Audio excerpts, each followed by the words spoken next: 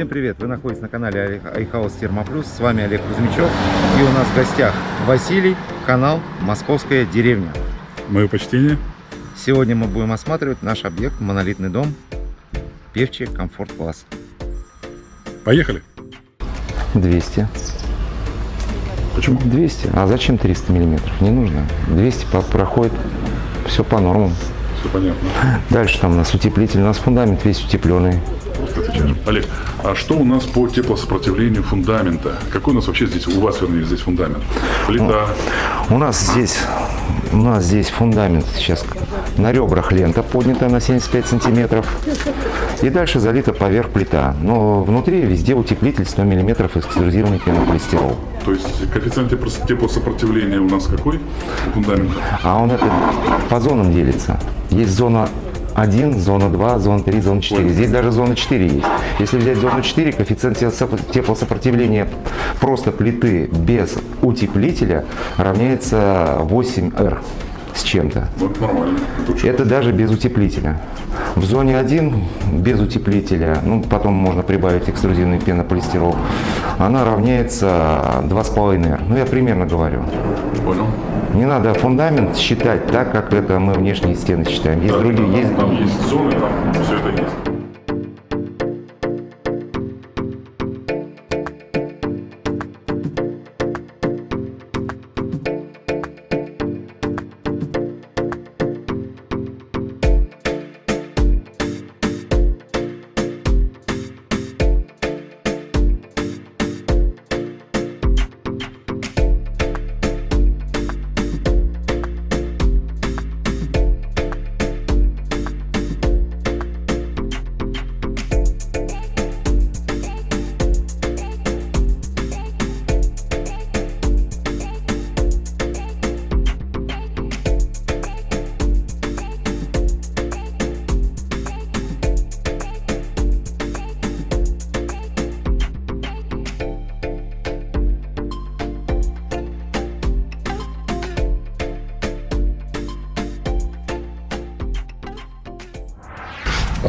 Друзья, я сейчас буду задавать Олегу каверзные вопросы, глупые вопросы, а он будет отвечать своим умным инженерным языком.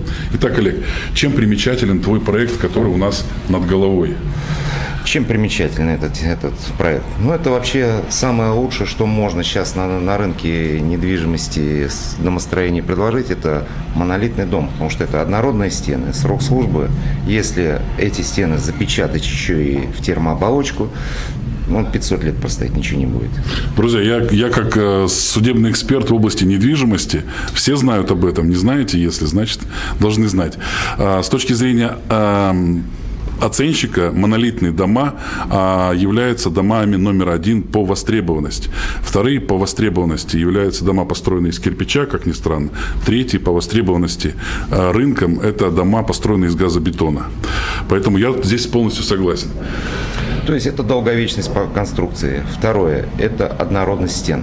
То есть у нас нету, как э, из кирпича сложен конструктор Лего.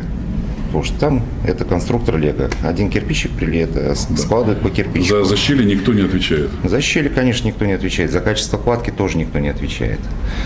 Тре- Третье. Так как у нас стены все-таки очень тонкие, 150 миллиметров, это достаточно наружных стен и внутренней перегородки 150 миллиметров, то у нас площадь пятна застройки, она получается меньше. Тонкие А- стены с хорошей несущей способностью э, прекрасно решают. Вот у нас сейчас объект, там это у человека 7 соток, и вот этот дом туда вписался, потому что расстояние до соседей, если бы он выбрал другую технологию, он бы не выдержал. Я понял, я понял. Какие еще плюсы есть у монолитных домов? Ну, это способность накапливать тепло. Да, инерционность, инерционность. Инерционность. У них, у монолита, самый высокий коэффициент теплоусвоения. Самый большой коэффициент в одном кубе собирать тепловой энергии. Самый большой.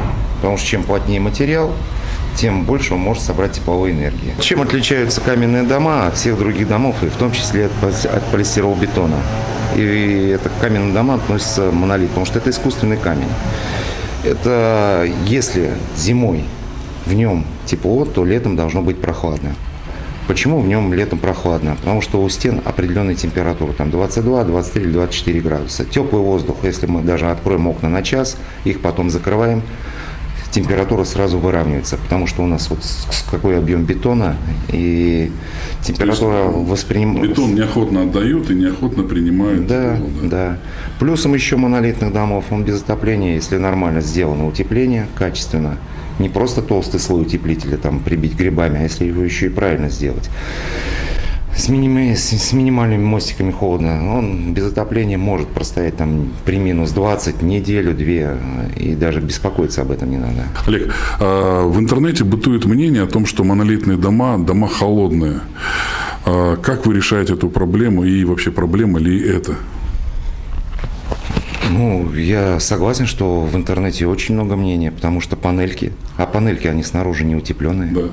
Дальше панели – это еще и швы любой шов, вот, такие, вот такие вот шов. любой шов, это там может быть не заполнен. Ну, как раньше строили, набросали где-то раствора, вот на соединение этих панелей, и там остался воздух.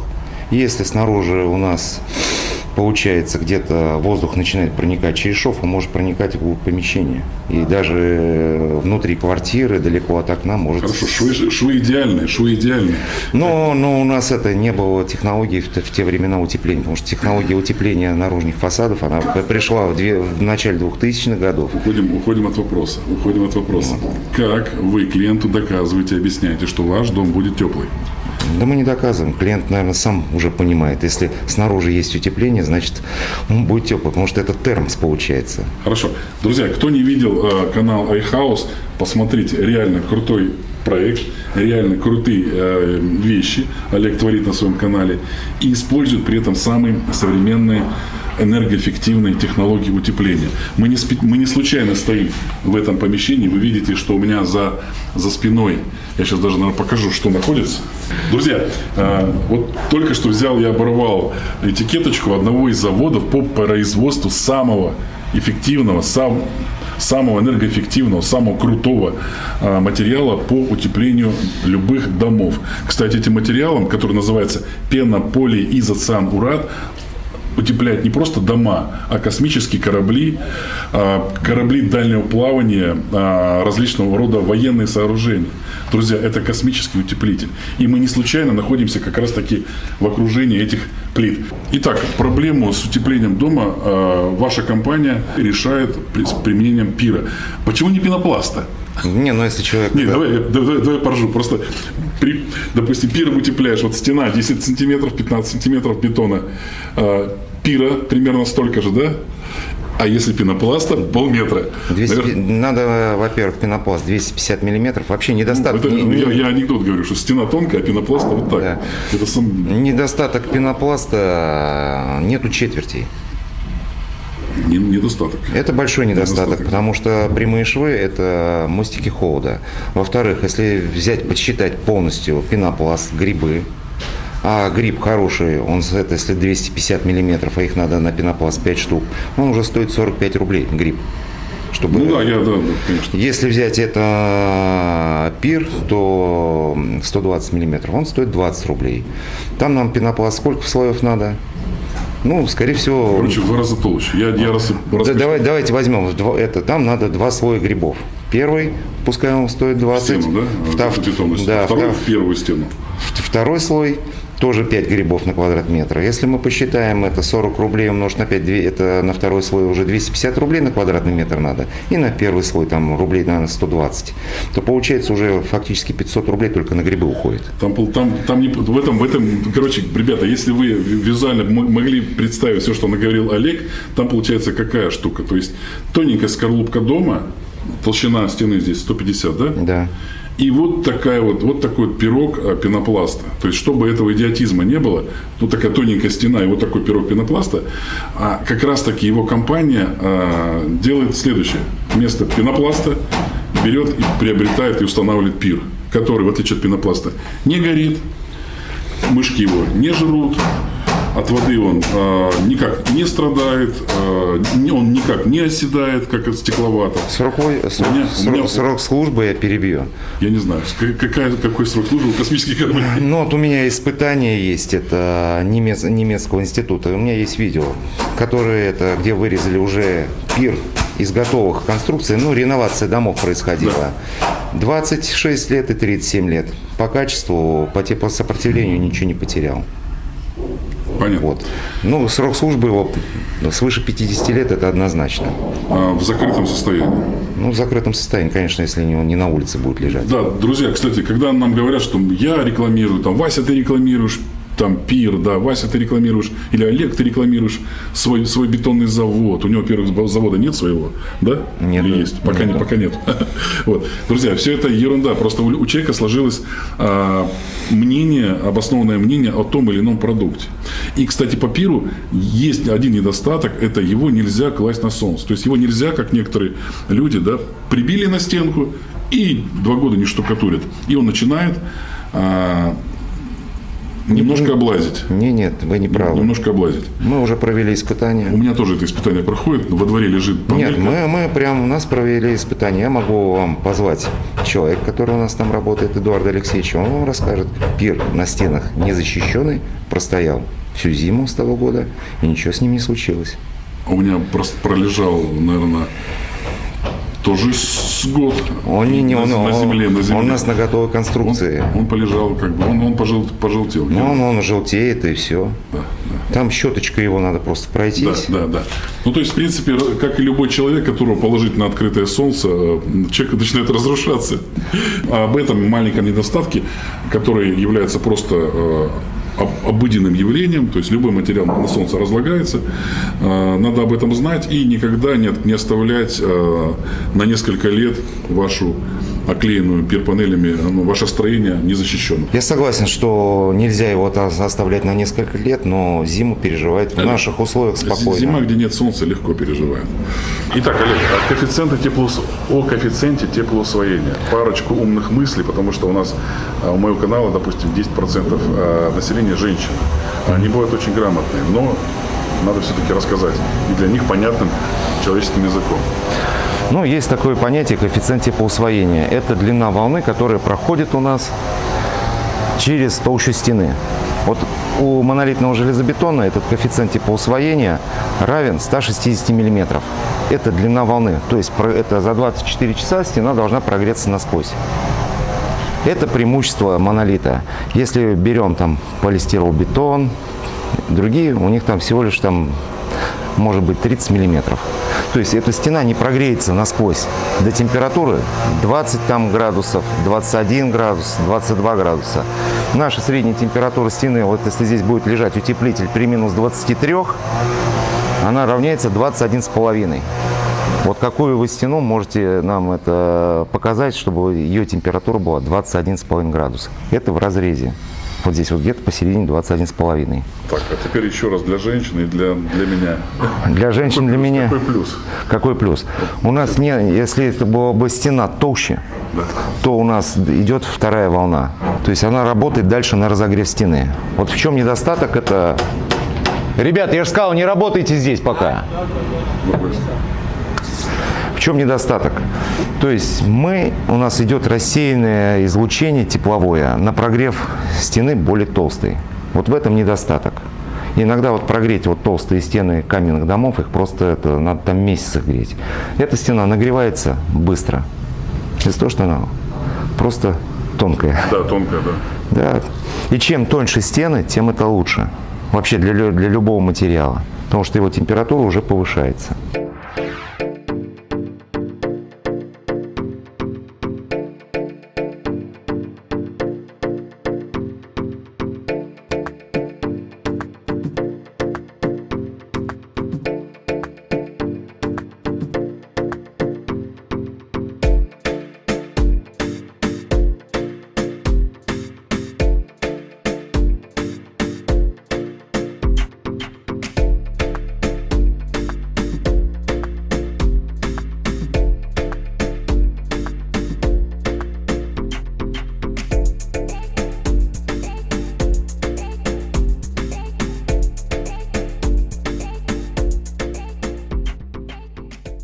Есть монолитные дома, которые применяют эту технологию 100 миллиметровых стен.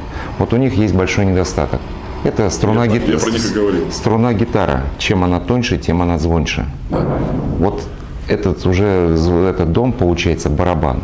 Вот я никому не советую дом из монолита делать, чтобы стены были 100 миллиметров. Просто вот по ней вот будешь стучать, она звенит. И это все передается по конструкции. Открывается дверь входная, межкомнатная. Вот вы открываете, закрываете, все это будет слышно. А когда конструкция 150 миллиметров, то этот звук уже глушит. Ну, плюс у нас здесь штукатурка.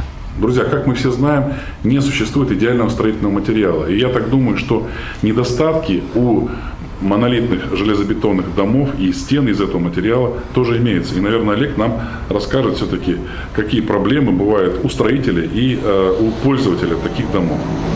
Ну, Движемся е- по ним. Давай. Нет, есть недостатки, но это недостатки именно возведения этой конструкции. Потому что это не сложить дом из кирпича. Это изготовить изделие, его отлить. Цена, конечно, здесь уже берется не с куба, не с квадратного метра. Здесь берется цена за изделие, как за лестницу.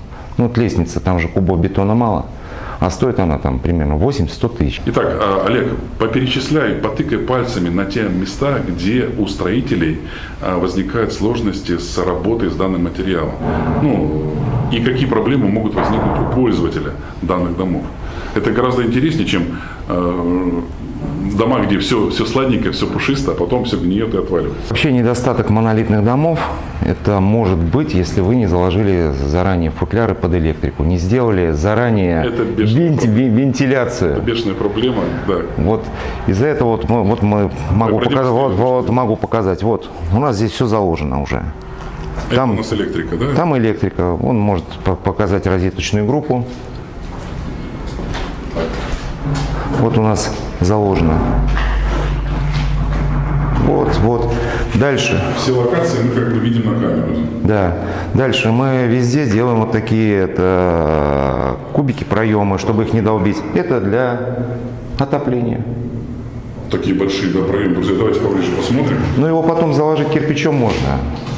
Это понятно. Просто вот был какой кусок пенопласта, вот такой положили. Просто закладываем пенопласт, обрезки. Ага, ясно, ясно. Потом ушибаете при необходимости. Да. Ясно. Вы Дальше у нас вот электрика на потолке. То есть у нас там все тоже сделано. Вот у нас потолочный розетник, подрозетник, мы их изготавливаем сами.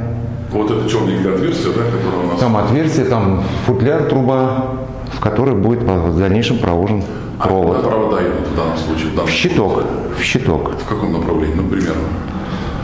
Здесь я уже Внутри, не... внутри А, плиты, да. Все, все во- идет во- внутри плиты. вот да? внутри плиты, вот он выключатель. Вот идет вот так. Ага, понятно. Теперь понятно. Ясно. Вот эти вот отверстия запененные пенкой, я так полагаю, это ваша опалубка, складки опалубки, да?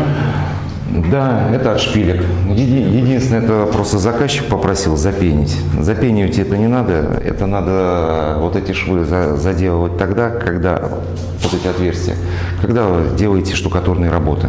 Понятно. Потому что если вот так оставить, шумоизоляция на нуле. Надо штукатуркой закидывать. Ясно. Пойдемте в другую комнату. Давайте в санузел зайдем. Ну, в санузле мы сейчас ничего не увидим, потому что он здесь заложен у нас перпанелями. Как проходки делаете с этажа на этаж? В каком виде, в каком формате? В санузле, допустим. Ну, есть вариант заложить прямо туда трубу. Второй вариант просто это закладываем эти. Также можно заложить из пенопласта. Или еще. газоблок, а потом все это вынести, да? Да, да. Решений различных много. Здесь ничего особенного как бы нет. Нету.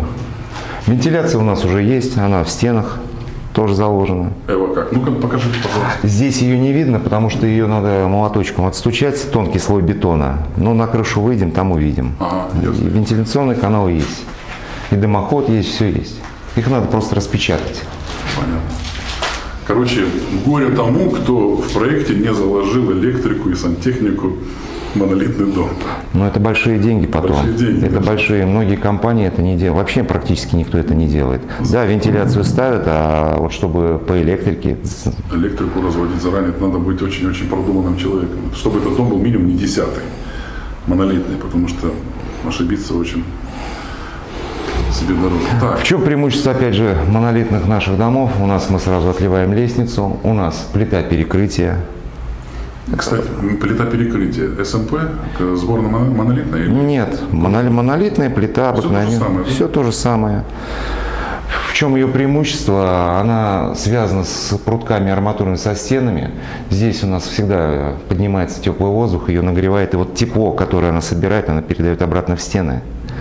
Если внутренние перегородки они получают, внутренние перегородки передают опять же во внешние. Они все равно будут холоднее под утеплителем. То есть это большой аккумулятор тепла, и он это температурное поле разное в доме в различных элементах. И от более теплого к более холодному телу эта температура переходит. супер. И мне просто ветер это, Олег, а, парочку слов о теплых полах. Будете, не будете в этом доме делать? А, Стоит, не стоит в таких монолитных домах вообще заморачиваться теплыми полами?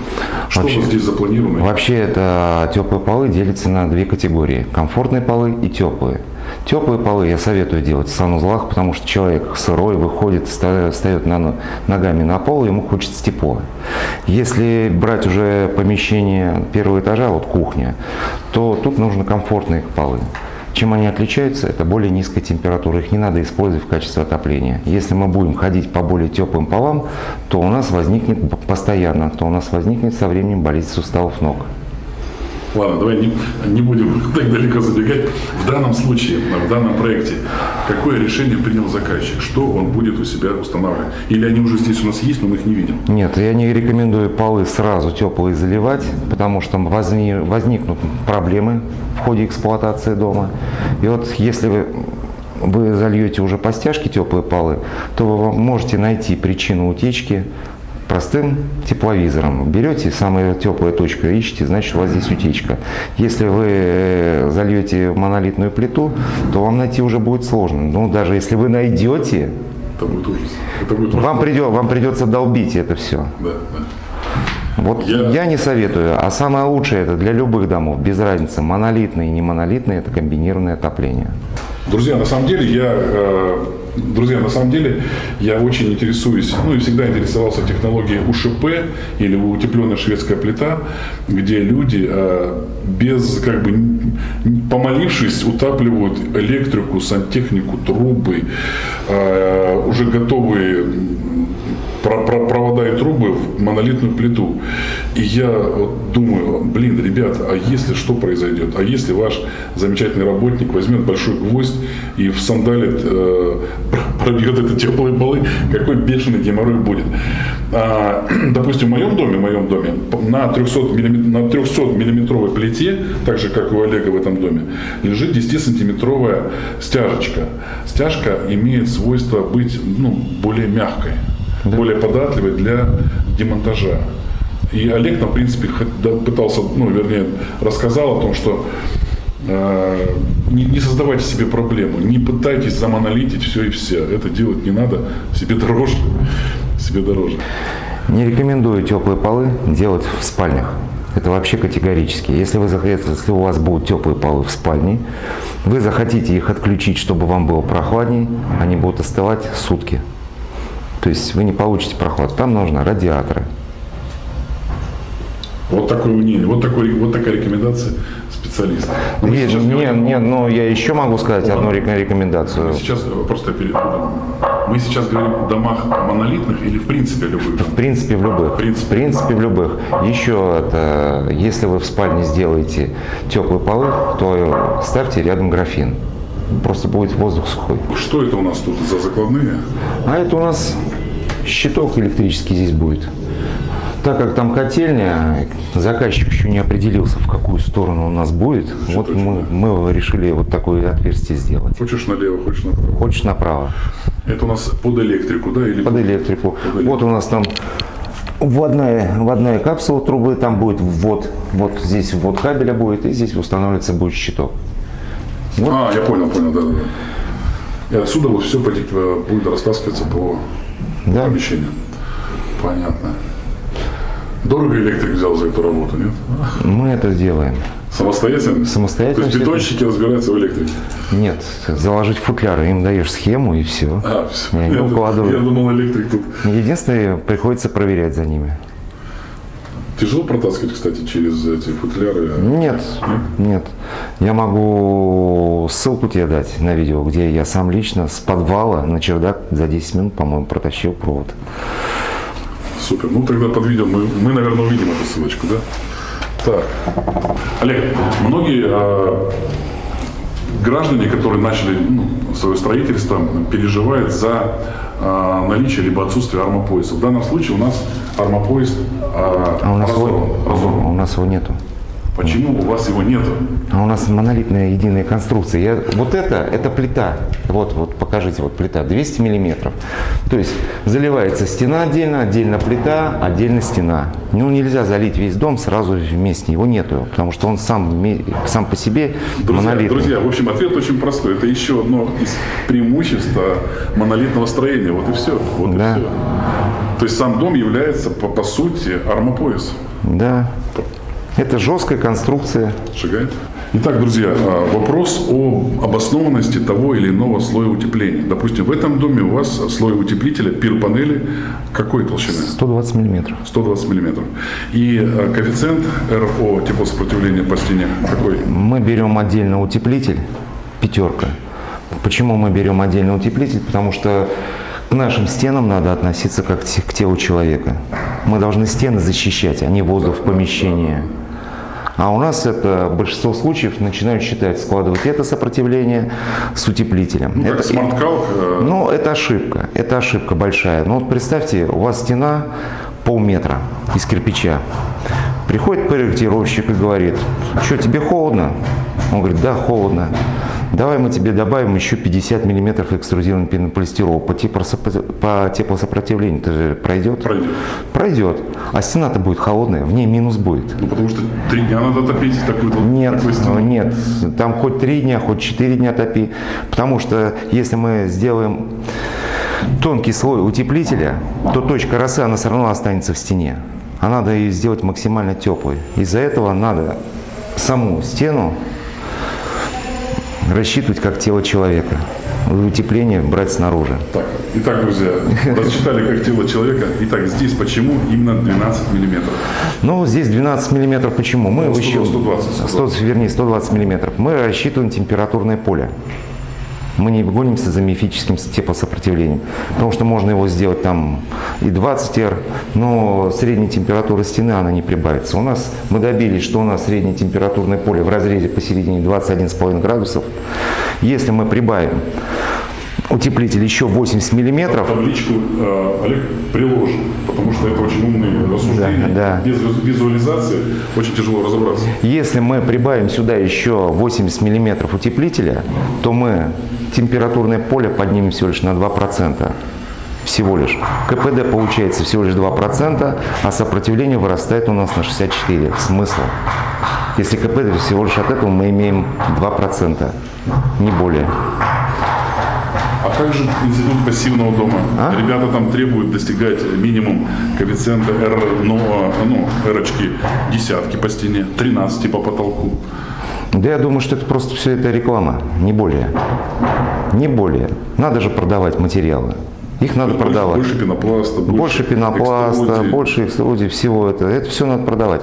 Вообще, если взять это энергоэффективные дома, как развивалось в Европе, в 1972 году ОПЕК, ну там Саудовская Аравия, они поругались с Европой. И они им подняли цены на нефть там, в 5 или в 6 раз, ну в том числе и на, на газ. И в то время, в то время они первый раз задумались об энергоэффективности, как спасти дом, ну сделать более теплым. Начали появляться новые технологии. Это Пенопласт. это нет. Это, газ- это типа газоблок, пеноблок. То есть они начали идти по пути, увеличивать теплосопротивление соломого материала. Это то, что у нас сейчас делается. Потом эти технологии начали э, это, улучшаться, потому что требования ЕС к энергосбережению они увеличились. Появился снаружи пенопласт. Дальше, когда вот эту технологию все уже выбрали, не, не, не- Подушки из пенопласта. Вот такой толщины 40, Да, 40 сантиметров да. подушки. Потом, когда это все, все вот уже высосали, это до конца из этой технологии все, что можно, они начали включать мозг, а почему нам не, это не вставить туда аккумулятор тепла? Это в 90, в 90-х годах они начали уже применять аккумуляцию Сердцевина. нет, не, не, сер- не сердцевина, именно внутри помещения. Самый холодный материал, он должен быть внутри помещения. Ну, потому они, что они потому- считают, что тоже, там- тоже проходит. не, пройти все может. Мы говорим про энергоэффективность здания. Потому что вот от этой сердцевины зависит теплоустойчивость помещения. Это как вот русская печка. Сложи печку русскую из газоблока, затопи ее. После протопки она, Мгновенно нагреется, мгновенно остывает. она не нагреется. Все тепло вылетит в трубу. А, это. Так и, та- так, так и здесь. У нас это работают теплоносители, это наши радиаторы, Да. теплые полы. У нас весь воздух нагревается. Куда он улетает? Вверх. вентиляцию. Вентиляцию. И по пути своем, если он не усвоит тепло вот этими стенами, он полностью, как в печке из газобетона, вылетает в трубу. У нас котел работает постоянно или включается более чаще, потому что воздух имеет нулевое теплоусвоение. Ноль. А у этого монолитного железобетона коэффициент 18 единиц. У газоблока 2 технологию. Они начали это использовать, аккумуляцию тепла уже внутри помещения с помощью вот этих стен. Они могут быть кирпичные, каменные, бетонные. В дальнейшем, в 2008 году, начали ужесточать требования. Двигаться уже некуда. Что они придумали? Рекуперацию. Понял. Я сейчас смеюсь. А И подожди, сейчас у них требования опять увеличиваются. И они уже начинают это придумывать. Надо типа пассивный дом, солнечные вот эти панели. Причем кредит их продают. Ну, процентов- понятно. кредит. Потому что двигаться некуда. У них уже утеплитель есть, аккумулятор есть, теплосопротивление есть, рекуператор есть. Что можно еще придумать? Солнечные батареи. балерину вставить в цепь, чтобы она крутилась и электричество добывало. Нет, сейчас смотрю, развлекаюсь, как и многие, а, над каналом а, Smart, а, Smart Строй, где ребята строят дом, немножко монолитный, немножко иной. Там главный герой а, директор Smart Строй, фамилия не помню. Кажется, Смирнов такая банальная фамилия, не запоминается. Был бы какой-нибудь Зельберштольц, я бы запомнил. Ну, неважно. И Сергей Петруша, как, а, наверное, партнер в этом проекте. А, Ребята строят одноэтажный монолитный дом с, деревянной, с деревянным перекрытием, с деревянной крышей. Как у вас дела состоят? То есть там, там все смело. Ну, как немножко можно ехидничать, иронизировать в том плане, что, ребятки, а зачем вы монолит делаете? Крепко.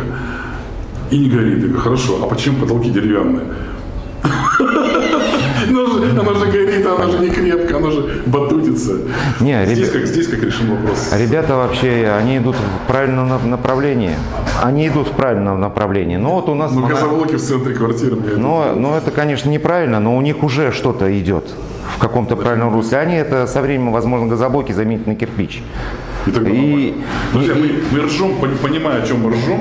То есть, друзья, газоблоки являются, ну, по- со, со- со слов Глеба Гринфельда, естественным утеплителем. Да? И естественный утеплитель втаскивает внутрь помещения теплый материал да, с высокими показателями тепловой защиты вкладывать в виде, в виде перегородок внутрь помещения, а холодный материал, бетон, выставлять в качестве э, ограждающей конструкции, это идиотизм.